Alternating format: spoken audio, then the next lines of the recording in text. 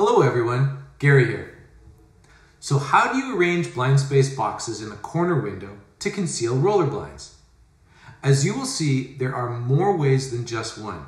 In this video, we will cover single roller blinds and in the next video, we will cover dual roller blinds.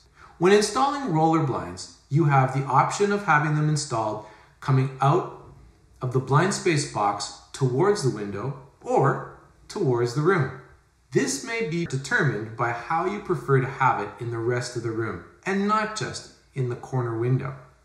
With Blindspace boxes, you can change your mind and move the cover plate from one side of the box to the other. If you have boxes very close to the window, you may want to have the blinds to come out on the room side to bypass any protruding windows or door handles. If you instead have the boxes with some distance to the window, you may want the blinds to come out on the window side.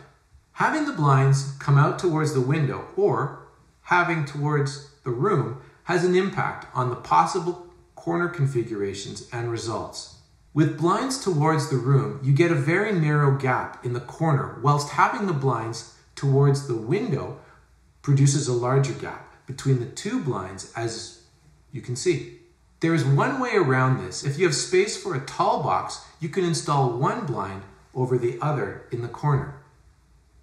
The next decision is if you want mitered boxes and a cover plate or butt jointed boxes. Some prefer a symmetric look of the mitered boxes and the two blinds meet in the corner. When blinds are installed towards the room, some prefer having butt jointed boxes where one blind passes the other to make the gap between the two blinds almost disappear.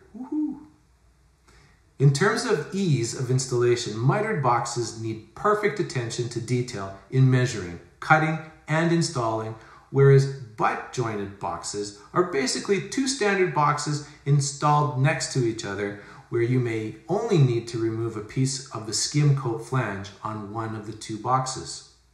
This is how you hide a single roller shades in corner windows. In the next video, we will show you many options for dual roller blinds. Until then, thank you.